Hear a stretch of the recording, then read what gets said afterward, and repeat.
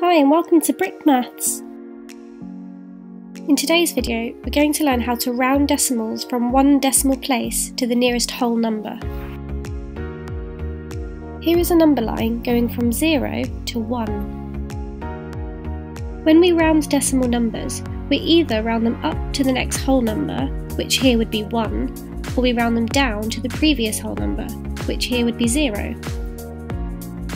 But how do you know whether to round a number up or down? If the number ends in 1, 2, 3 or 4, you round the number down to the previous whole number. If the number ends in 5, 6, 7, 8 or 9, you round the number up to the next whole number. So let's have a look at a decimal number. Here we have 0.8. It sits between 0 and 1.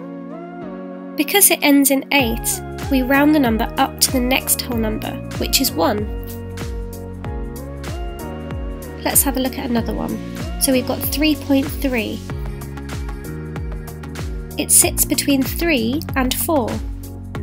Because it ends in 3, we round the decimal number down to the previous whole number, which was 3. The next number is 7.6.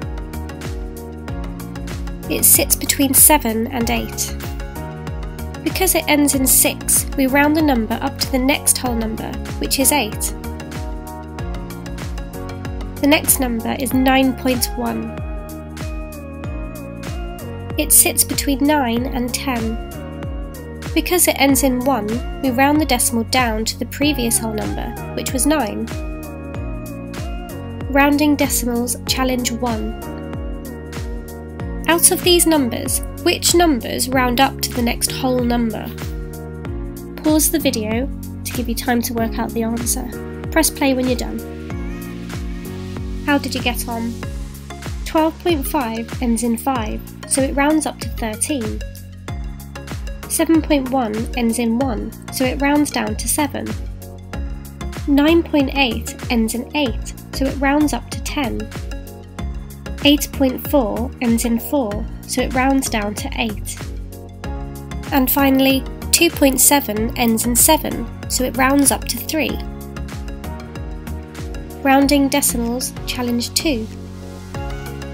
What decimal numbers can you make using these digits that will round up to the next whole number? Pause the video to give you time to work out the answer. Press play when you're done. How did you get on? There are four different decimal numbers you could make from these digits that could round up to the next whole number. You could have made 42.6, which would round up to 43. You could have made 24.6, which would round up to 25. You could have made 4.6, which would round up to 5. And finally, you could have made 2.6, which would round up to 3.